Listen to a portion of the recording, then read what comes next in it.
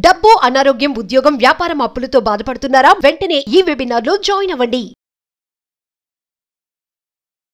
Hi hello నమస్తే. Welcome back to Suman TV. ప్రస్తుతం మనతో పాటు ఉన్నారు Fouzia Joman master in price action trading.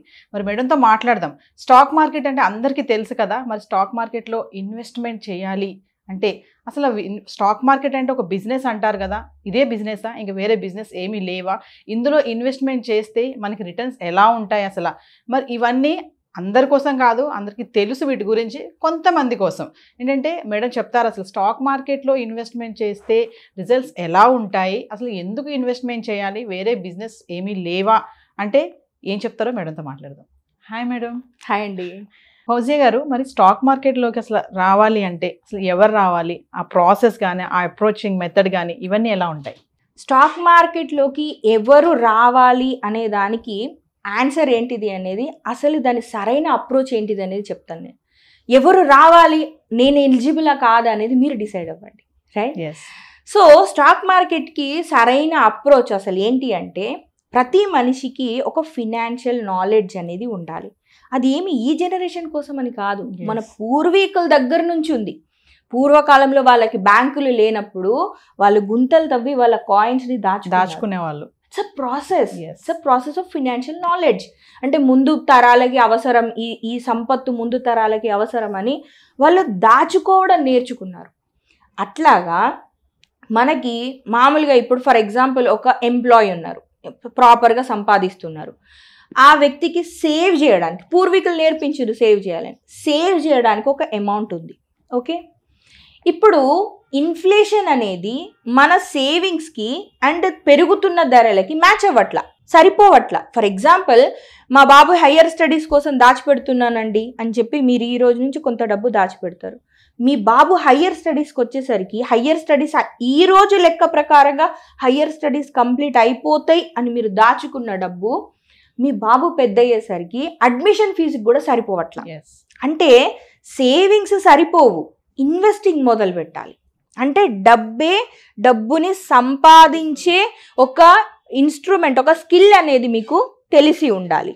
So దీనికోసం అని చెప్పేసి ఇప్పుడు ఫినాన్షియల్ నాలెడ్జ్ అది ఎట్లా గ్రో అవుతుంది ఎట్లా తెలుస్తుంది? ఫస్ట్ మీ దగ్గర మనీ ఉంది.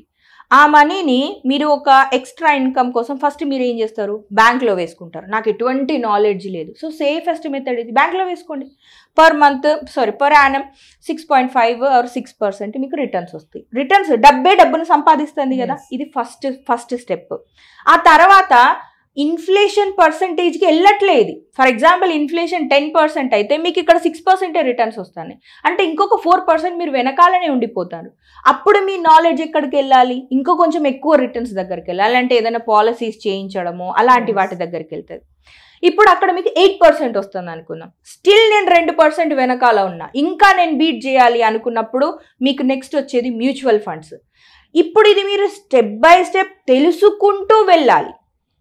కదా మీకు ఎప్పుడైతే ఆలోచన వస్తుందో అప్పుడే గ్రోత్ వస్తుంది. ఎస్ మీకు మీరు సిక్స్ సిక్స్ పర్సెంట్ నుంచి ఎయిట్ పర్సెంట్ వచ్చే రిటర్న్స్ గురించి తెలుసుకున్నారు. ఎయిట్ పర్సెంట్ నుంచి mutual funds SIPs twelve percent దాకా రిటర్న్స్ వస్తాయి మీరు వాటి గురించి తెలుసుకొని అక్కడ దాకా వెళ్ళిండ్రు. అండ్ ఫైనల్గా నాకు అన్లిమిటెడ్ రిటర్న్స్ కావాలి. అన్లిమిటెడ్ రిటర్న్స్ అంటే డబ్బుల చెట్టు కాసింది చెట్టు Hmm. నుంచి నోటు. తెంపుకోవడం కాదు. అది ఏంటి అంటే ఇప్పుడు మీకు సర్టెన్గా ఇప్పుడు బ్యాంక్ అంటే ఖచ్చితంగా మీకు సిక్స్ పర్సెంట్ పెట్టిందంటే దట్ ఈస్ బౌండెడ్ సిక్స్ పర్సెంటే దొరుకుతుంది. ఏం జరిగినా సిక్స్ పర్సెంట్ దొరుకుతుంది. మీకు ఏదైనా పాలసీ ఎయిట్ పర్సెంట్ అంటే ఎయిట్ పర్సెంటే దొరుకుతుంది. అక్కడ బౌండెడ్ మీరు ఎయిట్ పర్సెంట్కి. బౌండెడ్ మీరు. కానీ స్టాక్ మార్కెట్లో అట్లా కాదు. మీకు స్కిల్ తెలిసింది అంటే మార్కెట్స్ మంచిగా మూవ్ అయిన ఇయర్ మేబీ మీకు థర్టీ పర్సెంట్ దొరుకుతుంది కావచ్చు. దట్ ఈస్ అన్లిమిటెడ్ అన్నట్టే కదా? మేబీ ఒక ఇయర్ మీకు టెన్ పర్సెంటే దొరుకుతుంది కావచ్చు. So it's a knowledge of financial growth. దాన్ని బట్టి మీరు నెమ్మదిగా స్టాక్ మార్కెట్ దాకా వెళ్తారు. ఇది సరైన అప్రోచ్. ఇప్పుడు దీంట్లో కామన్గా ఉన్న ఒక విషయం ఏంటిది మీరు గమనించండి. కామన్గా ఉన్న విషయం ఏంటి అంటే డబ్బులు ఆల్రెడీ. ఉన్నాయి. ఉన్న డబ్బుల్ని మీరు గ్రో చేస్తున్నారు అక్కడ. అయితే బ్యాడ్ లక్ ఏమైంది అంటే స్టాక్ మార్కెట్ గురించి ఆల్ ఆఫ్ ఏ సడన్ తెలిసేసరికి మామూలుగా ఫెయిల్ అయిపోయినాం మేము స్టాక్ మార్కెట్లో లాస్ అయిపోయినాం మేము అనే వాళ్ళు కనుక ఈ వీడియో చూస్తున్నట్టయితే మీరైనా అప్రోచ్ ఏంటి? ఒకసారి రాసుకోండి. మీ మిస్టేక్ ఏంటిదనేది మీకే తెలిసిపోతుంది అంటే ఒకవేళ మీరు ఇట్లా వచ్చి ఉంటారు మేబీ రాకేష్ జుంజున్ వాళ్ళ ఇన్స్పైర్ స్టోరీ వినేసి మీరు వచ్చి ఉంటారు లేదంటే ఎవరో ఒక యూట్యూబర్ వాళ్ళు సంపాదించిన ఇన్కమ్ ఆ రోజు చూపించిన ఇన్కమ్ చూసి ఎవ్రీడే అట్లానే వస్తుందని అనుకొని మీరు మోసపోయి ఉంటారు అది మోసపోయినట్టే మీరు. ఎందుకంటే వాళ్ళ వీడియోస్ మీరు వన్ నుంచి చూడలేదు కదా. దాంట్లో లాసెస్ కూడా వాళ్ళు చెప్పుంటారు. Yes. కానీ ఆ వీడియో మీరు చూడలేదు కదా. ఏ వీడియో అయితే మీరు చూసినారో ఆ వీడియోతోనే మీరు ఒక కన్క్లూషన్కి వచ్చేసి ఉంటారు కదా. సో ఎట్లా అంటే లాస్ట్ లాస్ట్ పాయింట్లో ఇంకా నా ఫ్యామిలీని సర్వైవ్ అవ్వాలంటే నాకు ఖచ్చితంగా ఎక్స్ట్రా ఇన్కమ్ కావాలి అనే ఒక టెన్షన్లో వచ్చేసి ఉంటారు. లేదంటే ఖచ్చితంగా ఇప్పుడు ఫర్ ఎగ్జాంపుల్ నేను ఒక విషయం చెప్తాను. ఎవరైనా మనకి ఇష్టమైన వాళ్ళు ఎవరో నీళ్ళలో పడిపోయినని అనుకుందాం. వాళ్ళని కాపాడాలి అనే ఒక ఎమోషన్ మీకు వచ్చేసింది అని అనుకుందాం. మీరు దూకిస్తే వాళ్ళని కాపాడలేరు. మీకు ఈత వస్తేనే వాళ్ళని మీరు కాపాడగలుగుతారు. ఆ లాజిక్ ఎందుకు మిస్ అయిపోతుంది?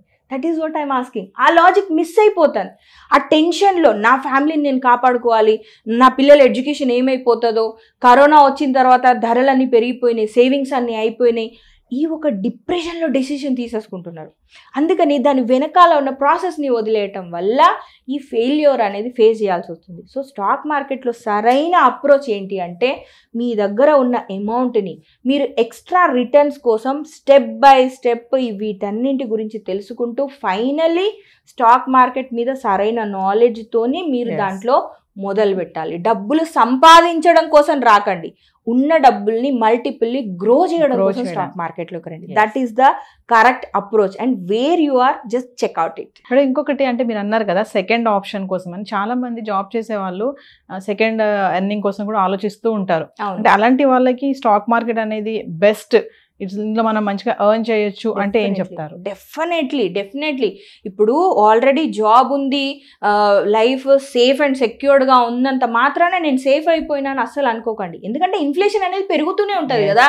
ప్రతి ఒక్కటి గ్రో అవుతూనే ఉంటుంది. సి మనం మారుతున్న కాలాన్ని బట్టి మనం కూడా మార్పులని చేసుకుంటూ వెళ్ళాలి. లేకపోతే డైనోసర్ లాగా మనం కూడా మాయమైపోతాం.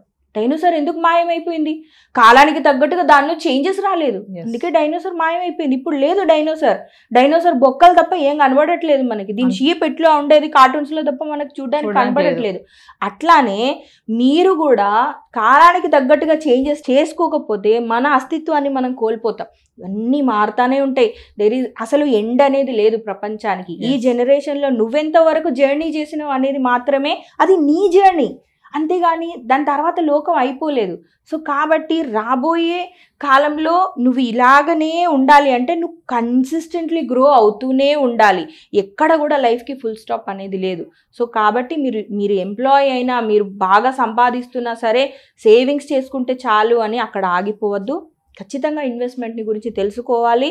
ముందు ముందు రాబోయే ఇన్ఫ్లేషన్ని తట్టుకోవాలి అంటే డెఫినెట్లీ మీకు తెలిసి ఉండాలి. And stock market is the best choice. Definitely కొంతమంది ఉమెన్స్ ఉంటారు మేడం. ఇంట్లో Mm. ఖాళీగా ఉంటుంటే వాళ్ళు చదువుకునే ఉంటారు ఇంటర్మీడియట్ డిగ్రీ కంప్లీట్ చేసి బయటికి వెళ్ళే వాళ్ళకి ఆ ఛాన్స్ లేక అవును. వెళ్ళే ఆపర్చునిటీ లేక ఇంట్లోనే ఉంటారు. అంటే. అలాంటి వాళ్ళు కూడా అలాంటి ఉమెన్స్ కూడా స్టాక్ మార్కెట్లోకి వచ్చి ఎర్న్ చేయొచ్చు అంటే ఏం చెప్తారు మీరు? డెఫినెట్లీ ఎర్న్ చేయొచ్చు. అయితే ఇక్కడ నేను ఒక విషయం చెప్తాను. ఎర్నింగ్ వేరు మీ దగ్గర ఉన్న డబ్బుల్ని మీరు ఇన్వెస్ట్ చేయడం వేరు. ఎర్నింగ్ అనేది ఇప్పుడు ఈ ఒక పాయింట్ ఎక్కడ వస్తుంది అంటే మీ దగ్గర ప్రాపర్ క్యాపిటల్ ఉన్నప్పుడు. Proper capital in the sense కనీసం ఒక పది పదిహేను లక్షలు ఐదు లక్షల దగ్గర నుంచి మొదలుపెట్టి. దాంతో మీరు ట్రేడ్ చేయడం అనేది మీకు తెలిసినప్పుడు మీరు ఎర్నింగ్స్ తీసుకోవడం మంత్లీ ఇంత పర్సంటేజ్ తీసుకోవడం it's like business okay so earning చేయడం అనేది వేరు హౌస్ వైఫ్ ఇన్వెస్ట్ చేయడం అనేది వేరు. ఇన్వెస్టింగ్ అంటే దీన్ని ఆలోచించండి. మీరు ఏ స్టేజ్లో ఉన్నారు అనేది మీరు ఆలోచించండి. ఇప్పుడు being a housewife for example మా పిల్లలకి మా అత్తమ్మ వాళ్ళు బయటకు వాళ్ళు వెళ్తున్నప్పుడు వచ్చినప్పుడు ఉంచుకో మనకు థౌజండ్ రూపీస్ ఇస్తారు. ఈ థౌజండ్ రూపీస్ని మీరు పిగ్గీ బ్యాంక్లో వేయండి. వంద సంవత్సరాలైనా థౌజండ్ రూపీస్ థౌజండ్ రూపీస్గానే ఉండిపోతాయి. కానీ అదే మీకు ఇన్వెస్టింగ్ తెలుసు అనుకోండి. ఇదే థౌజండ్ రూపీస్ని మీరు ఇన్వెస్ట్ చేయండి. హండ్రెడ్ రూపీస్ అన్న సంపాదిస్తుంది ఆ థౌజండ్ రూపీస్ మీకు ఎవరైనా ఊరికే హండ్రెడ్ రూపీస్ ఇవ్వమంటే ఇస్తారా? No right so being a housewife మీరేం చేయాలి అంటే మీరు నేను ఇంత ఎర్న్ చేసుకోవాలి. ఎర్న్ చేసుకుంటే మాత్రం సరిపోదు. మీరు ఒకవైపు ఇన్వెస్టింగ్ నేర్చుకున్నారనుకోండి మీ పిల్లల భవిష్యత్తుని మీరు సెక్యూర్ చేయొచ్చు. ఎస్ ఎక్కడైతే మీరు సేవ్ చేస్తున్నారో అక్కడ సిక్స్ పర్సెంట్ దొరికితే మీకు ఇన్వెస్టింగ్ తెలుసుంటే మీరు మోర్ దెన్ ట్వంటీ పర్సెంట్ సంపాదిస్తున్నారంటే ఆబ్వియస్లీ సగం బాధ్యత మీరు తీసుకున్నట్టే. మన మైండ్ సెట్ చేంజ్ అవ్వాలి. ఓన్లీ ఎర్నింగ్ చేస్తే మాత్రమే కాదు ఆ సేవింగ్స్ని మీరు మల్టిపుల్ చేసినప్పుడు you are one of the pillar of the financial sector అన్నట్టే. మీ ఇంటికి ఫినాన్షియల్ పిల్లర్ అన్నట్టు మీరు.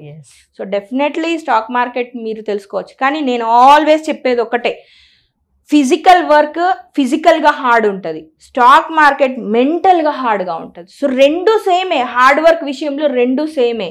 మీరు ఎంత ప్రాపర్గా నేర్చుకుంటే మీరు అంతా ఎక్స్పర్ట్ అవుతారు. దాంట్లో అంత ఈజీగా చేయగలుగుతారు ఏ పనినైనా కూడా. సో అది నేర్చుకోవడం మీద కాన్సన్ట్రేట్ చేయాలి. సరైన అప్రోచ్మెంట్ సరైన ప్రాసెస్లో స్టాక్ మార్కెట్లో కనుక ఎంటర్ అవుతే అది వెల్.